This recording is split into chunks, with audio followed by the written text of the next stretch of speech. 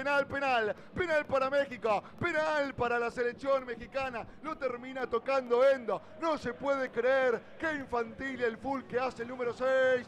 Termina cayendo Alechi Vega para Mifo adentro. Es lo que dice el árbitro. Vamos a ver si va o no a llamar el bar. Por lo pronto, Nahua, hay que decir que hay penal para México. Y te digo, desde mi punto de vista, no hay objeción alguna. ¿eh? Claro penal para justamente México de la mano del referee Banlak Tesema Wiyeiza, que justamente está impartiendo justicia en este momento. Pide el bar, ¿eh? El técnico de Japón pide el bar, dice Está por favor el VAR, la seña. Están pidiendo el bar. Mientras tanto, el arquero está Tani Kosei dentro de los tres palos. Habla con el árbitro del partido. Pero hay penal. 11 minutos y medio. Las alarmas están prendidas. Las alarmas todas puestas en este tiro de los 12 pasos. Mientras siguen revisando la jugada en el bar, para mí igual no sacan el penal de la acción. A pegarle va a ir Córdoba, el número 17. Va a ir eh, el futbolista mexicano. Va a ir Córdoba a pegarle la pelota. Se pone en posición para pegarle de pierna zurda. Mientras la jugada sigue siendo chequeada en el bar. Ya Nahuel Chinuri cualquier cosa no va a citar. Lo cierto es que hay penal para México, te dijimos. Se venían las emociones fuertes. Está parado nada más ni nada menos que contra Dani Cosey. ¿Qué va a hacer Córdoba? La cruzará. Le pegará recto. Le pegará fuerte. Le pegará despacio a colocar. El árbitro que da la orden. Se va a venir el penal. 12 minutos y medio del primer tiempo. Y dale que queremos. Y dale que queremos que le pegue. Porque hay una medalla en juego. Se va a venir el penal. Cinco pasos lo separan de la pelota Córdoba. Y el árbitro le pide que no se adelanten a los futbolistas. Se va a venir el envío. Va Córdoba. Gol. Gol.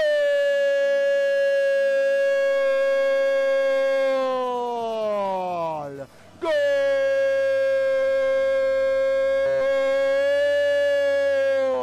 de la selección mexicana. ¿De quién sino? De Córdoba capital. Diría nuestro querido amigo Rodrigo. Pero aquí Córdoba, el número 17 del equipo de Jaime Lozano. Cambia por gol el penal que le hicieron a Lechi Vega. Lo cruzó por lo bajo de pierna zurda. Al otro palo se tiró Cosey. Por eso hay que decir que en estos primeros 15 minutos del primer tiempo, Nahue querido. México 1 por ahora. Medalla de bronce. 0. No se lleva nada. Ahora sí, ahora sí. Ya estamos con todo porque hay tiro libre para México. Atención con esta. Agárrate Catalina y todos los santos evangelios. Te estoy hablando a ti, fanático de la Tri, fanático de Chivas, de Juárez, de lo que sea, de la América, de Monterrey. Hay tiro libre que le va a pegar Córdoba. El goleador que tiene el partido levanta la mano derecha. Jugada preparada. Llovida, punto penal, cabezas y gol. ¡Gol! Pero qué golazo Vázquez. ¡Gol!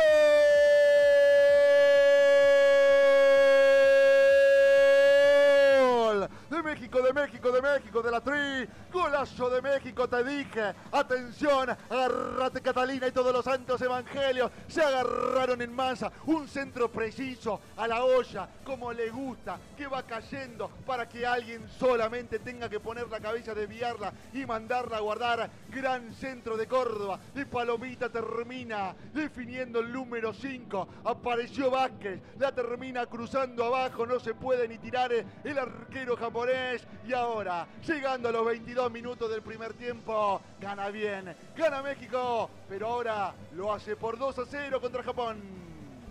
Te lo venía anticipando Lautaro, era el momento justo ahora para liquidar un poco el partido 2 a 0. Claramente, como apreciamos en el campo de juego, Japón dejó tres hombres para el contragolpe, algo temerario, teniendo en cuenta que te estás enfrentando a una de las selecciones más imponentes del fútbol juvenil y ante un pálido arquero como es Kostei Tani que sin voz de mando, sin salida, dejó el arco en bandeja Vázquez que se suma al podio de goleadores junto con Francisco Córdoba. México y Japón se retira muy, pero muy dolorido, lesionado el eh, futbolista Diego Laines en andas de un médico, en andas también de su compañero Henry Martin.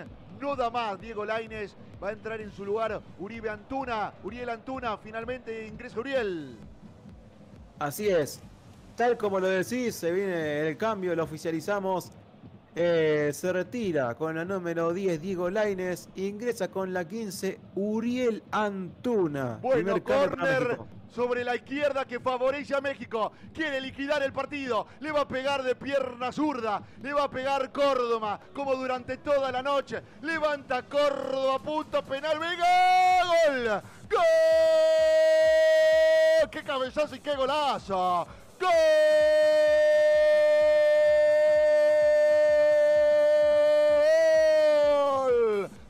De México, de México. Un gol, dos asistencias, perfecto lo de Córdoba. Pega el Chelsea futuro, fenomenal. Que tiene el número 17, ganó en las alturas a Vega. De buen partido, de solidario Vega. Cooperó durante toda la noche y hoy tuvo su premio. Comandante Vega sí lo festeja. Saltó más alto que Kei, saltó más alto que Yoshida, más alto que todos en los aires de Tokio para confirmar que gana México, que se quiere llevar la de bronce. ¡Qué golazo, madre mía! Y ahora, en 15 minutos de este segundo tiempo, gana México y gracias a Lechi Vega, ahora lo hace por 3 a 0, Nahue. Soldado Universal Vega, tremendo cabezazo, imposible para atajar para Casey, el número 12, que tuvo un papel aceptable a pesar de los goles. Esto condena un poco más el presente de Japón y el festejo Alexis Vega, que va a quedar en la historia como uno de los goleadores junto con Córdoba y también con Vázquez, que convirtió de manera similar en el primer tiempo como un gol el bronce. Es el final del partido. No va más el encuentro partidazo que tuvimos en el Estadio Olímpico de Tokio. Ganó México por 3 a 1. Los goles de Córdoba, el gol de cabeza de Vázquez, el último tanto de cabeza del futbolista Lechi Vega. El descuento había sido de Mitoma, no la alcanzó a Japón. Medalla de bronce para México. Le ganó a los locales y se acuerdan se cuelga, mejor dicho, un galardón más en estos Juegos Olímpicos. Día histórico para el fútbol mexicano. Se arrodilla Ochoa, le agradece al cielo Jaime eh, Jimmy Lozano. Está abrazándose con todo el cuerpo técnico merecido. Salud México por esta medalla de bronce que lo posiciona entre los más grandes de Tokio 2020 junto con España y con Brasil. Lloran de emoción los mexicanos lloran de tristeza, pero lo han dado todo también los japoneses. Los últimos 10 minutos fueron un partido aparte, claramente. Eh, prevaleció el rendimiento físico por la técnica futbolística. Justamente Japón tomó ventaja de eso. Está claramente acostumbrado, lo hemos eh, anticipado eh, en el momento justo, en el momento en vivo.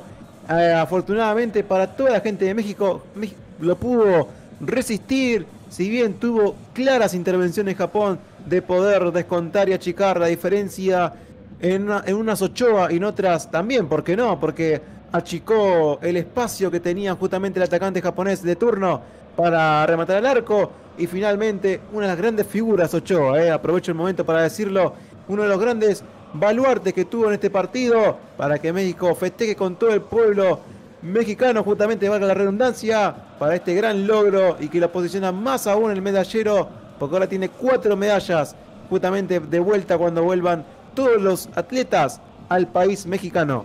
No, no, nunca nosotros, por lo menos en este espacio, en este canal, dijimos que los argentinos eran superiores a los mexicanos en el fútbol ni en ninguna otra disciplina. Sí que podían tener mejores momentos, sí que podían tener mejores situaciones, pero claro está que la selección la de México, está posicionada en el galardón y la de Argentina se retiró en primera ronda. ¿Puedo decir algo? Sí, podemos.